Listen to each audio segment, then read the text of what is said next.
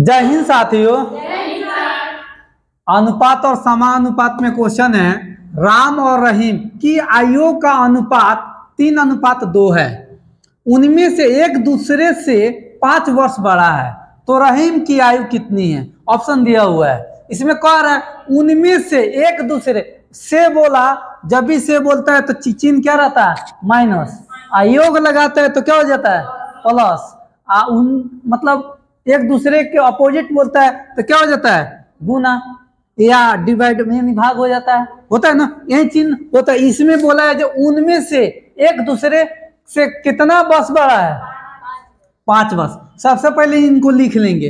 राम और रहीम। लिखेंगे राम। अनुपात रहीम। यही ना?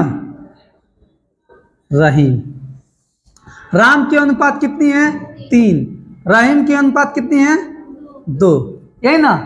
कर उनमें से एक दूसरे से कितना बस बड़ा है? पाँच। तो एक दूसरे के यूनिट देख लेंगे जो इसमें और इसमें अंतर कितना का हो रहा है। एक का अंतर हो रहा है ना? तीन में से दो जाएगा, कितना बचेगा? एक यूनिट बराबर, यानी कितना वर्ष बड़ा है? पाँच वर्ष बड़ा तो यहाँ हम लिख सकते हैं, एक यूनिट बराबर पाँच वर्ष नहीं, फिर क्वेश्चन कह रहा है पाँच वर्ष बड़ा है तो रहीम की आई। रहीम का पूछा तो यहाँ पे एक यूनिट बराबर पाँच वर्ष तो रहीम की आई पूछे तो रहीम की यूनिट कितनी है? दो। तो यहाँ पे लिखेंगे दो यूनिट बराबर पाँच है गुना में है तो इधर आ क्या हो जाता है? भाग, इस ये भी गुना है तो उधर जा क्या हो जाएगा? भाग। दो हो जाएगा। अब गुना करेंगे तो क्या हो जाएगा? पांडु ने? दस बटे एक एक से भाग करेंगे तो कितना आ जाएगा? दस वर्ष। आंसर इसमें कौन सा ऑप्शन सही हो जाएगा? दस। इजी था ना? क्वेश्चन देखेंगे। है, कोई धन राम और रहीम में चार अनुपात, तीन के अनुपात में बांटा गया। यदि रहीम का भाग चौबीस सौ रुपया हो तो कुल धन कितना था? एक का भाग इसमें दिया हुआ है। किसका दिया हुआ? रहीम का दिया हुआ। तो इसमें सबसे पहले लिखेंगे, राम, अनुपात रहीम। है ना? राम का अनुपात, राम का अनुपात कितना है? चार। रहीम का तीन। कह रहे जो कुल भाग पूछ रहा है इसमें। दोनों का अंतर नहीं पूछ रहा। कुल मतलब हम आप लोग को पहले बता दिए कुल मतलब क्या था? जोड़। अंतर मतलब घटाओ से मतलब घटाओ ये पहले हम बता चुके हैं। तो कह रहे कुल धन बताइए जी कितना है। तो एगो का धन दिया हुआ तो कुल धन बताने के लिए दोनों यूनिट को क्या कर देंगे? जोड़ देंगे। चार और प्लस तीन बराबर कितना हो जाएगा? सात। यहाँ पर लिखेंगे हम लोग जो किसका दिया हुआ है, रहीम का। रहीम का यूनिट कितना है? तीन, लिखे तीन यूनिट बराबर चौबीस सौ रुपया। तीन यूनिट बराबर चौबीस, तीन किसका है? रहीम का अनुपात है। तो कुल धन पूछ रहा है तो कुल धन का अनुपात कितना है?